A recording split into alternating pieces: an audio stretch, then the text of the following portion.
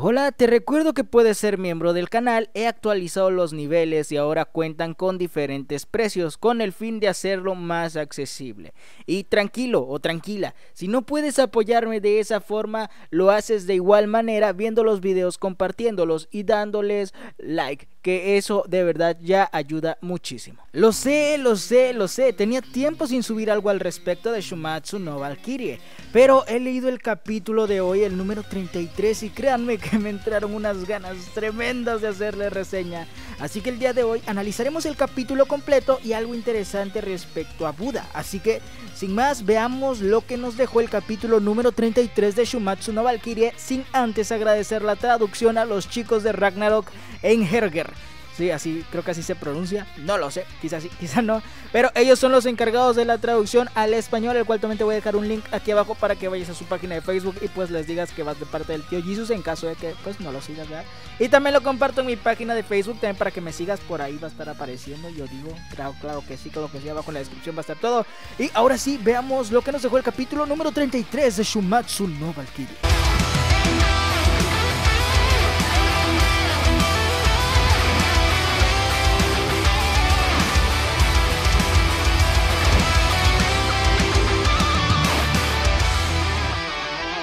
Al comienzo del capítulo tenemos el pasado de Raiden, el cual se nos relata como un pasado triste, pues Raiden tenía ya dos años y medio y aún no podía caminar, ni siquiera ponerse de pie.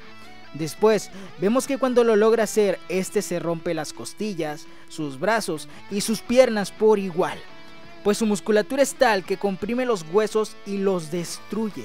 Entrenó y entrenó hasta lograr quién era. Regresando al Ragnarok, vemos la confrontación entre Raiden y Shiva, quienes ya habían cruzado golpes previamente. Este revela que lo terminará de una vez por todas utilizando toda su fuerza, y esto gracias al Volund, utilizando en conjunto con la Valkyria. Pues de hacerlo como en el pasado, al no reprimir su fuerza, Raiden caería y la pelea hubiese finalizado en ese instante. Pero la Valkyria es ese, digamos, lo controlador de fuerza que tiene. Y por primera vez en la historia, vamos a ver a Raiden pelear con toda su fuerza. Y sí, así como lo escuchas, en el pasado era llamado el sumo más fuerte o el invencible. Y él reprimía su fuerza, pero para no perjudicarse. Es decir, venció una gran cantidad de sumos, o sea, estuvo invicto por mucho tiempo, sin ni siquiera utilizar su fuerza en totalidad. Esto claro en hechos del manga. Es algo de aplaudirle esto de Raiden. Y es que aquí es donde vemos su nueva forma, una forma más esbelta y también se le ve más confiado, me recuerda mucho a la situación que pasó entre Zeus y Adán, donde Zeus adopta esa forma diamante, ahora vemos algo similar con este señor Raiden. El manga en este punto nos manda a otro sitio, pues vemos cómo hay una confrontación también más verbal entre Buda y Loki. Loki cuestiona a Buda que es interesante lo que está pasando, pues Dios ha sido golpeado, ha sido arrinconado, lastimado y por último también ha sido asesinado. Y también le parece muy curioso el Volund, pues incluso él desconocía de lo que podían ser capaces aquellas semidiosas. Fusionarse con alguien y volverse un arma útil en contra de un dios es algo que no pudieron aprender ellas solas. Y lo más importante de todo, en el budismo existe algo similar, donde dos personas se unen en una para juntar las virtudes de ambas, vaya, en una sola persona.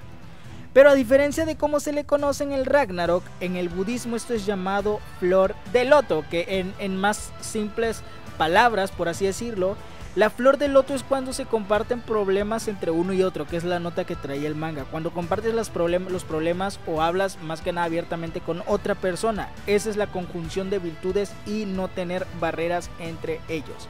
Buda niega que sea algo similar, o lo que insinúa Loki, pues no lo escuchó del todo ya que era demasiado lo que estaba diciendo. Loki para cortar las cosas le pregunta a Buda si es un traidor. Buda le responde diciéndole, ¿y qué importa si lo soy?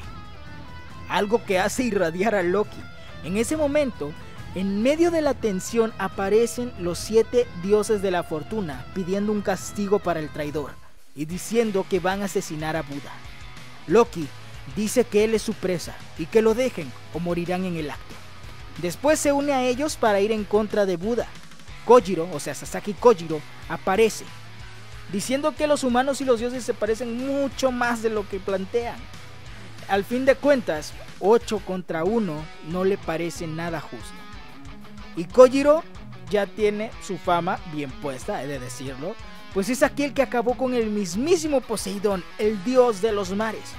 A la batalla también se une Okita Shoji junto con su compañero. Entonces hay dos bandos formados. Los humanos defendiendo a uno que alcanzó la iluminación, trascendiendo más allá, contra los siete dioses de la fortuna y Loki. la suerte está echada. En el próximo capítulo esperemos ver algo más de ellos, que siendo sincero se me hizo lo más interesante del capítulo. El capítulo finaliza cuando Loki pregunta si pueden comenzar y los humanos junto con Buda le responden que cuando gusten pueden comenzar. El capítulo número 33 de Shumatsu no Valkyrie ha llegado a su fin con esta escena que te acabo de narrar. Bueno, ahora muchos estarán preguntando por qué Buda traicionaría a los dioses. O quizá no se lo pregunten tanto porque era como que algo obvio, pero te lo voy a plantear de todas formas. Recordemos que Buda era un humano antiguamente, era un humano, pero uno que alcanzó la iluminación, alguien que trascendió más allá de lo mundano. Otra cosa curiosa es que es súper poderoso. O sea, literalmente con un palito de paleta le atravesó la mano a un dios de la fortuna y lo hizo lanzándolo con la boca. O sea, prácticamente le escupió el palito y ese palito le atravesó la mano y lastimó al dios de la fortuna. Tienes que estar sumamente roto para hacer ese pedo. Y fue algo que me sorprendió de Buda y ya lo quiero ver pelear. Que rezo y juro y quisiera que el autor de Shumatsu no Valkyrie lo coloque contra Loki, güey. ¿Se imaginan que se pase al bando de los humanos y el Buda sea el Buda chino, el que luche de este lado con los dioses, y el Buda hindú, que ese es el más representativo, luche del lado de los humanos, estaría súper pro. Súper, súper, súper pro. Porque no es el único Buda, he de decirlo, he de decirlo. Por último, comentar también lo de Raiden, que quizás sí pasa a segundo plano por cómo están acomodadas las situaciones. Pero ahora se me hace un poco más normal el verlo con canas. Siempre me lo pregunté porque no se veía tan grande, se veía demasiado joven y pues con buena forma física, no se me hacía alguien con mucha edad. Eh, tuvo que pasar demasiado estrés. A eso yo se lo atribuyo las canas. Para terminar como terminó. Es decir, sufrió demasiado y el estrés era de un tamaño abismal. Es por eso que lo logramos ver con canas. O sea, todos saben que las canas salen por el estrés y obviamente por la edad, pero más por el estrés o, o al menos en edades prematuras salen por estrés.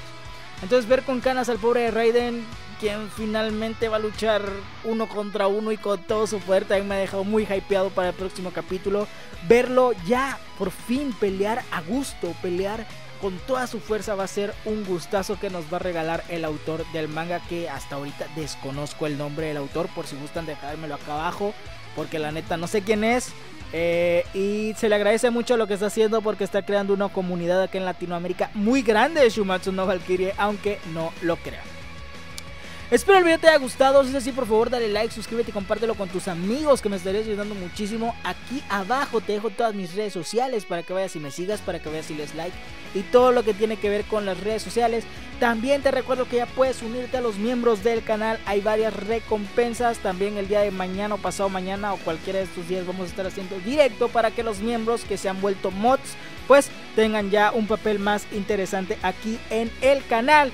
Y también eh, déjame aquí abajo tus teorías. ¿Tienes alguna teoría sobre qué va a pasar en el próximo capítulo? ¿O qué puede suceder también? Porque hay cosillas interesantes. La pelea entre Buda y Shiva va a trascender, siento yo, más allá y va a ser también una de las más épicas. Muchos decían que no iba a durar tanto porque Buda obviamente es un sumo, es un luchador de sumo.